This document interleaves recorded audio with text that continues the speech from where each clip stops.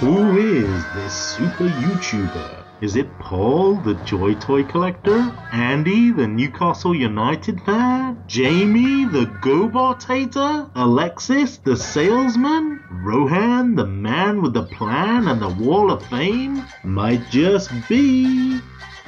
Rohan's Corner, Super Transformers guy. Rohan's Corner, poking Hasbro in the eye. Oh, he's so fly, a groovy guy with a beard that just won't stop. When the bots get rough, he's super tough as third party cleans up. Rohan's Corner, Super Transformers guy. Rohan's Corner, poking Hasbro in the eye.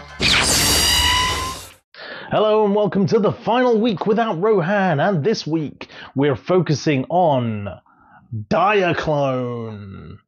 Yes, the pre Transformers brand that brought us transforming robots that we all know and love. Here, for example, is Fire Truck, who is, of course, Inferno. I also have upstairs Dinobot. Grimlock and Sludge, although they are not called that, they're probably called Tyrannosaurus and you know, Diplodocus or something, who knows, Brontosaurus. Now, why am I talking about Diaclone? Diaclone seems to have had a massive resurgence in the main line in recent times, alongside all the other Japanese elements that are getting a run out for their money, the likes of Headmasters and Master Force and Victory uh, characters are coming back out, as we all know and love, in the HasLabs, and even in the main line, we're also getting the odd odd e-hobby character and the odd Diaclone character as well, and it's pretty cool. But I guess the question is, would you all like to see more Diaclone figures? Would you like to see those ones that were not made into Transformers, or would you like to see more Diaclone color schemes being used for repaints, the likes of Overcharge as Blitzwing?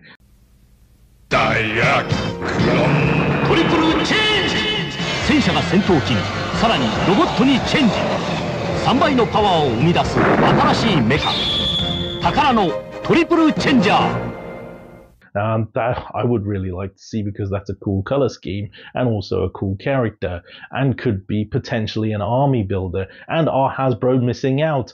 And do Hasbro ever miss out on a repaint? Yes, they do. So what do you all think? Diaclone, should we have more of it? Should we have updated characters? Should we have updated figures of those figures that were created back in the 80s, especially the really bad ones?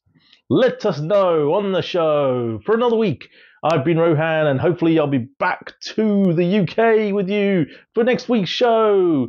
For now, it's back to the studio. Transformers, Rohan's in disguise.